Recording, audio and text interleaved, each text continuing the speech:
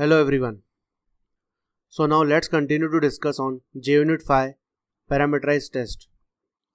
In our last lecture, we saw how we can use at the rate value source to provide different arguments in a form of an array to our at the rate parameterized test.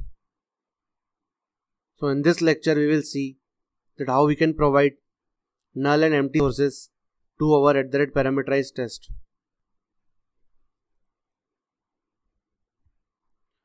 So friends, basically null and empty sources are used to check the corner cases of our code by supplying the null and empty values to our parameterized test. So friends, let's say we are using at the rate parameterized test and now we want to check for let's say null and empty values. Basically these are often our corner cases that we want to check for null values and empty values. So we can simply use the null and empty sources to provide those values to our parameterized test. So in order to provide the null value, we can use the annotation at the rate null source. So what it will do, it will provide a single null argument to our at the rate parameterized test.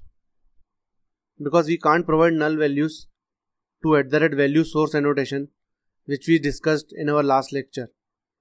So therefore, in order to provide a null argument, we have to use at the null source.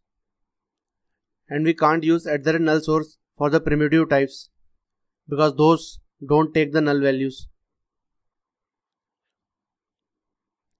Also friends, in order to provide an empty values to our parameterized test, we can use at the empty source.